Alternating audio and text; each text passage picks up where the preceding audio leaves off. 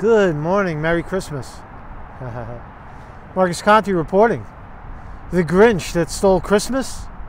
Nah, I don't think so.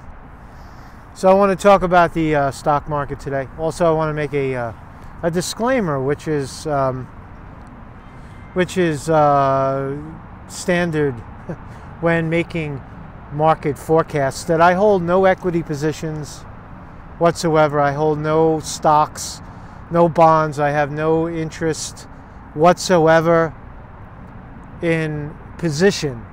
Just as a disclaimer. Also, as a disclaimer, I was a licensed stockbroker in the 90s.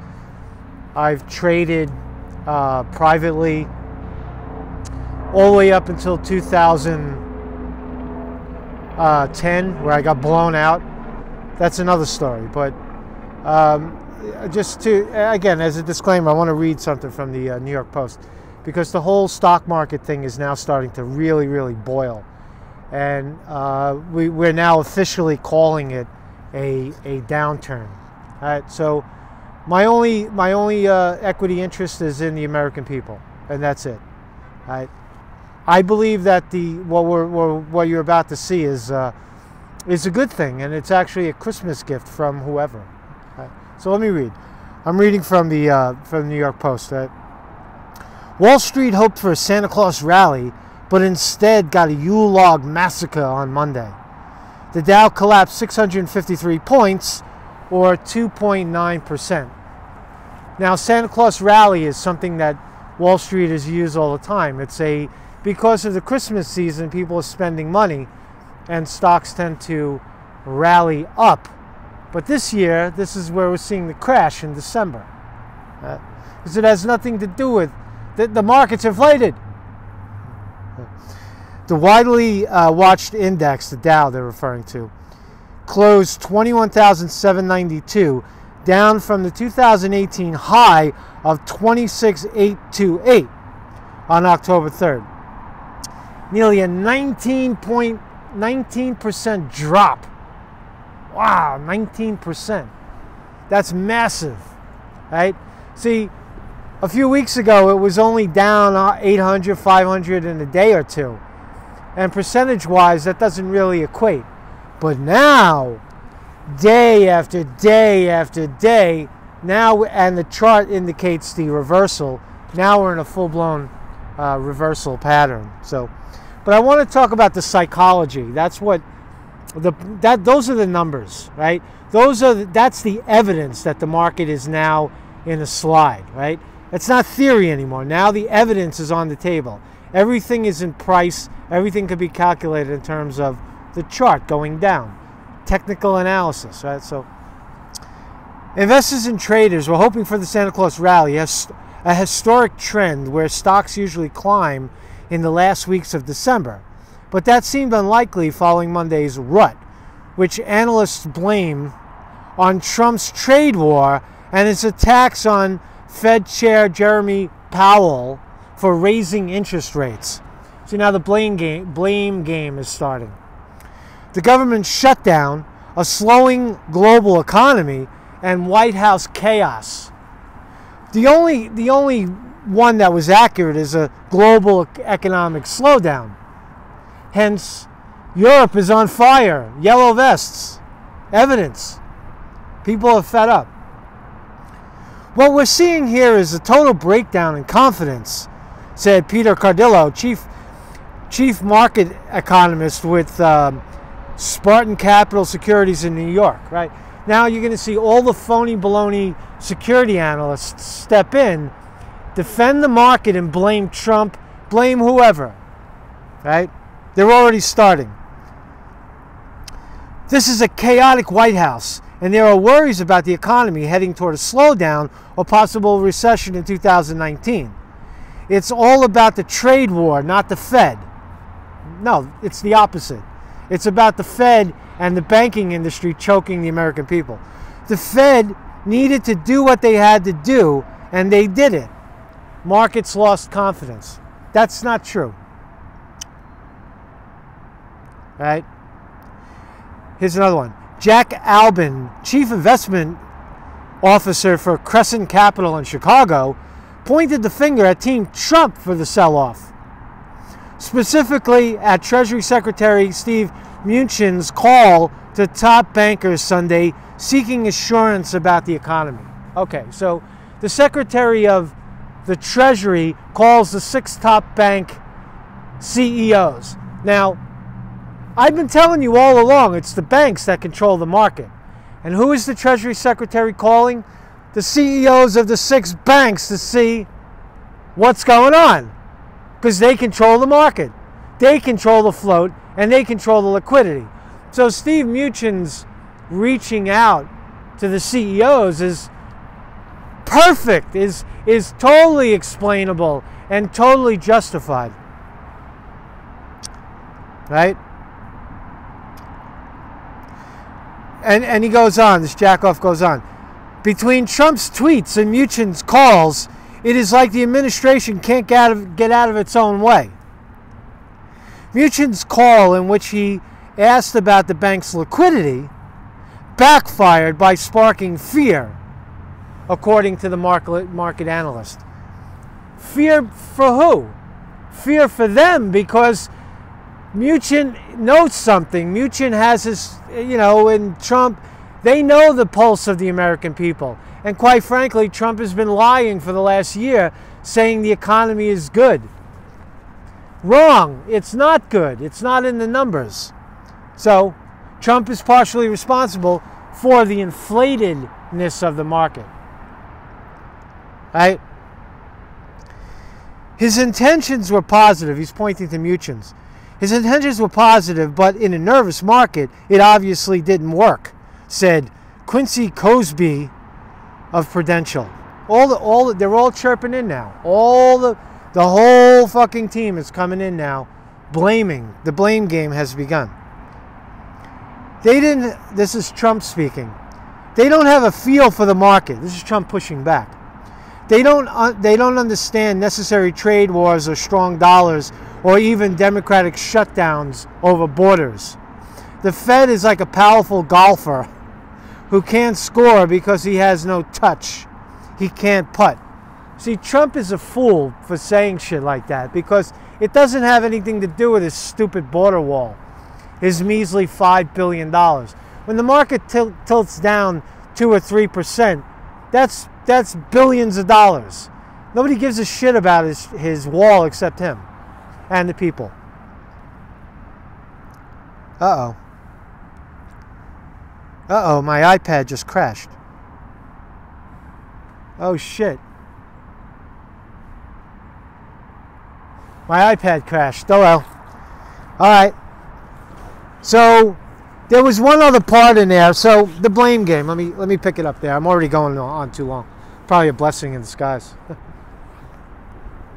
So Marcus Conte reporting on the stock market, the crash, the inevitable downturn, the bubble, the correction, the market correction bubble, reversal, whatever you want to call it, right? There was also a part of that um, piece that I wanted to talk about. Pelosi and, and Schumer are going around the clock now, also blaming Trump for the discontent in the market, right? So, look, all of the analysts and all of the brokers and all these banks operate on a fraudulent market uh, uh, business plan, right? Their business plans are based on fraud, deception. Um, you know, they, they violate, they, they tell you to buy when they're selling, right? Right now, they're shorting the shit out of the market. They won't tell you that, but that's what they're doing, right?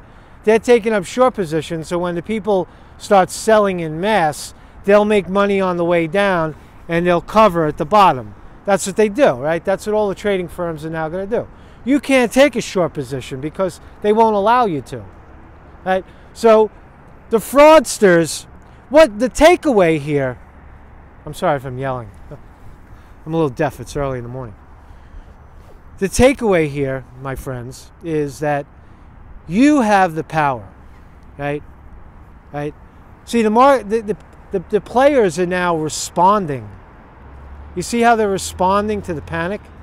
Right? And what is the panic? None of them mention that Europe is on fire, that they, they're losing a huge customer in Europe. See, when you see the uh, yellow vest, yellow vest parading through Paris, you see McDonald's, you see Starbucks, you see all the banks. Paris is no different than New York, right?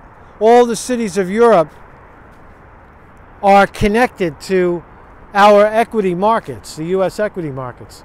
Not so much the British markets, but the U.S. equity markets and the U.S. banks are, you know, all those companies I just mentioned are on the New York Stock Exchange, they're on the Dow, they're on the NASDAQ. Right? Take a step back. Christmas Day, right? this is my Chris this is our Christmas gift. Right? Because look, only 70% 70% of the country is already already boxed out of equities anyway, right? You got burned in 2008. You have no money. You got $400 in your pocket, right? What do you give a shit about stocks? Right? Why do you care? Right? You want to see the thing crumble, right? You want to see it crash because the 29% of the population that actually is holding stocks, they'll recover, right? They'll recover. They'll, they'll be fine. Don't worry about them. The 1% is getting absolutely crushed. The banks are going to be on fire, right? They, those guys, right? They can't support, they're going to kill the 30% that are holding stocks first, right? And then they'll go down, they'll start downsizing themselves. But they won't do it until every penny of the investor is gone. Right? That's what they do. Right? So, so the, the stock market, right, is is showing us that is showing us the evidence that the that the economy is not doing good, that it's an inflated bubble, that people are so overwhelmed with debt that they don't have they they, they can't find jobs that pay the exorbitant amounts of mortgage. They're strapped down in a trillion dollars in student loan, 13 trillion in mortgage debt, maybe another trillion or two in credit card debt.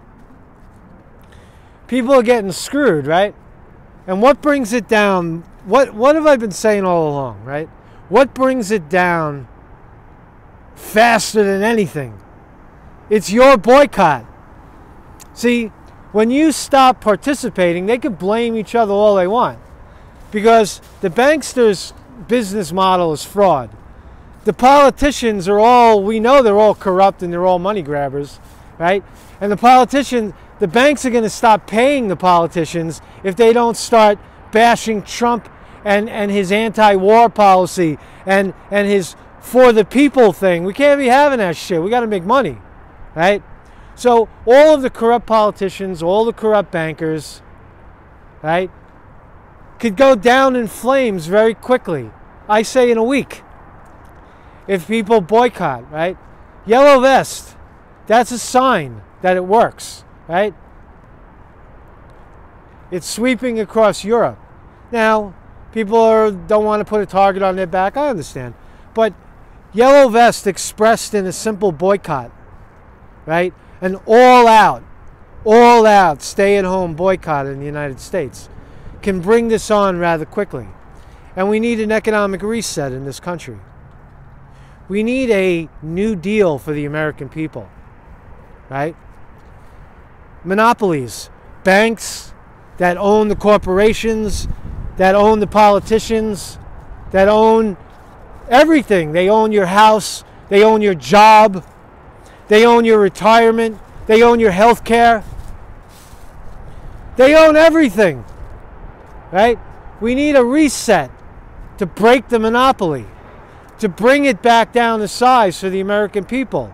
Why do we tolerate the 99%? Why do we tolerate, as 99%, why do we tolerate a 1% hand job, you know, getting totally screwed? Why do we, why do we tolerate it? Why do people continue to tolerate it?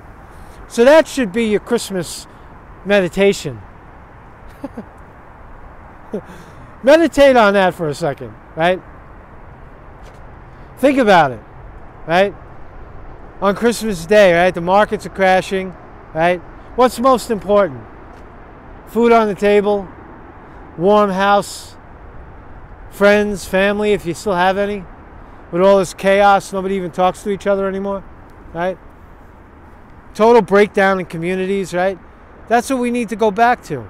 A simple, a, uh, an economic reset and, and restoring the country to social sanity, where there's music that expresses the, the will of the people. People have leisure time again. Art blooms, small business blooms. People are not worried about health care. They get, you know, Medicare for all. Stop this universal bullshit. It's fake. Medicare for all, college tuition at city and state universities, free term limits, raise the corporate tax rate, bring them down to size, lower the military spending, cut it in half. We don't have an enemy. Right? Cut out the big cut out those fuckers, man. Get rid of those bankers. Let them let them choke, man. Let them choke on this Christmas. Choke, you motherfuckers, choke. Merry Christmas. My name is Marcus Conte reporting.